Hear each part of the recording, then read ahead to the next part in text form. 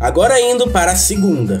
A primeira escola a desfilar é a Mocidade Independente de Padre Miguel, em seu quarto desfile na posição. A escola nunca chegou a ir às campeãs nessa posição. Em 2010, ficou em sétimo lugar, a melhor colocação, e em 2014 ficou em nono, a pior colocação, nessa posição de desfile.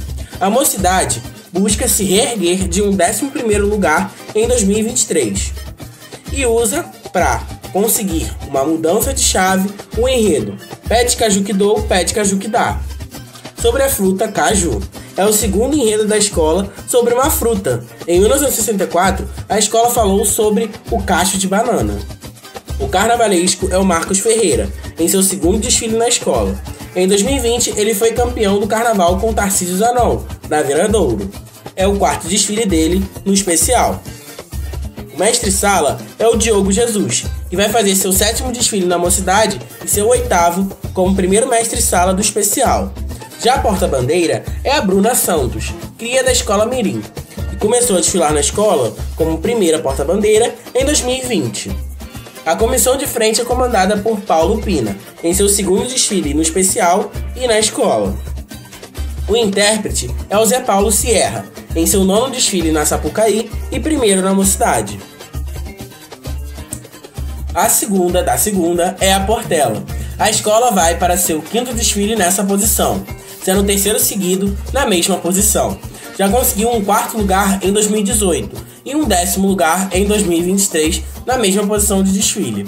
Assim, a escola quer dar a volta por cima do décimo lugar com o enredo Defeito de Cor, do livro de Ana Maria Gonçalves que conta a história de Luísa Marim e seu filho, Luiz Gama. A sinopse era uma carta de Luiz Gama para sua mãe. Esse é o sétimo enredo da Portela baseado em um livro ou um conto. A Portela já fez enredo sobre a parábola do filho pródigo, Memória do Sargento de Milícias, Macunaíma, A Fonte de Amores de Câmara Cascudo, A Pomba da Paz e Memórias para servir a história do Reino do Brasil. Os carnavalescos são o Antônio Gonzaga, em sua estreia no Grupo Especial e na Portela, e o André Rodrigues, em seu segundo desfile no especial e primeiro na Portela.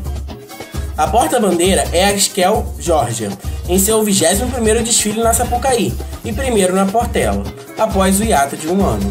O mestre-sala é o Marlon Lamar, que começou em São Paulo e veio para o Rio a pedido de Lucinha Nobre. Primeiro na Unidos do Porta Pedra em 2017, depois foi para Portela em 2018 e está lá desde então estando em seu sexto desfile na escola e no especial. Os coreógrafos da comissão de frente são Léo Senna e Kelly Siqueira. Os dois começaram na escola em 2017 e voltaram para ela em 2022, fazendo assim seu quarto desfile na Sapucaí, no especial e na Portela. O intérprete é o consagrado Gilcinho, em seu 16º desfile na Portela e 18º no grupo especial. Na terceira da segunda, vai desfilar a Vila Isabel, que repete a posição de 2023, que ficou em terceiro lugar, sendo a quarta vez nessa posição. Em 1994 e 95, ficou com o nono lugar nessa posição. Em 2023, ficou em terceiro, a melhor colocação. O enredo é Gibala, a reedição de 1993, que na época gabaritou em enredo e samba. O carnavalesco é o multicampeão Paulo Barros, campeão de 2010, 2012, 2014 e 2017. É seu quarto desfile na Vila Isabel e seu 19 desfile no especial. A porta-bandeira é a Cristiane Caldas, que faz seu terceiro desfile na vila e aparentemente 15º carnaval no especial. Confesso que tive dificuldade de achar a quantidade exata de desfiles que ela fez no especial. Junto dela está Marcinho Siqueira, o mestre Sala, que em 2014 estreou na União da Ilha, com ela, e está também no seu terceiro desfile na Vila e nono desfile no especial. Na comissão de frente está Alex Neural e Márcio Jaú. Alex começou na escola em 2014 e ainda fez 18 e 23, sendo seu quarto desfile na escola e décimo no especial.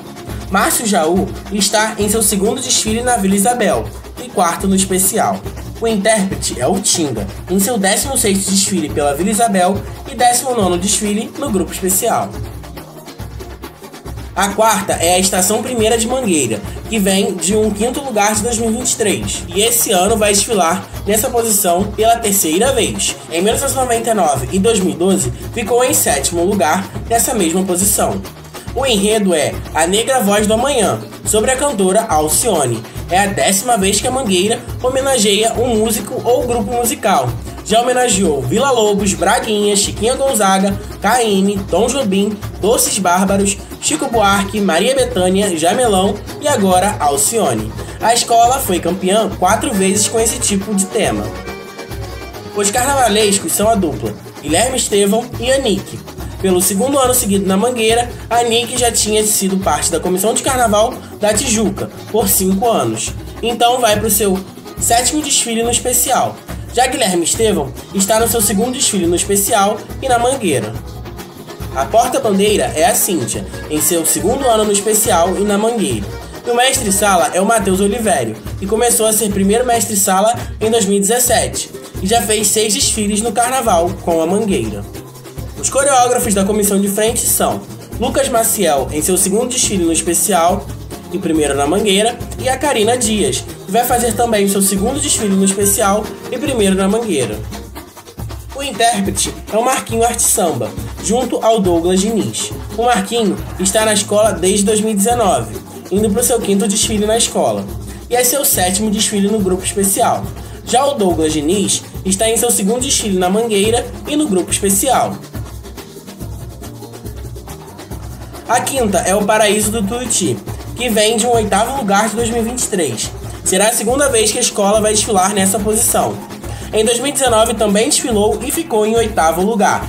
O enredo é Glória ao Almirante Negro, que vai contar sobre a história de João Cândido e a revolta da Chibata. O carnavalesco é o Jaque Vasconcelos, em seu nono desfile no especial. Em 2018, com a Tuiuti, atingiu sua melhor campanha, com um vice-campeonato. Vai fazer seu sétimo desfile na escola. A escola é essa que ele subiu em 2016 e conseguiu o vice do especial.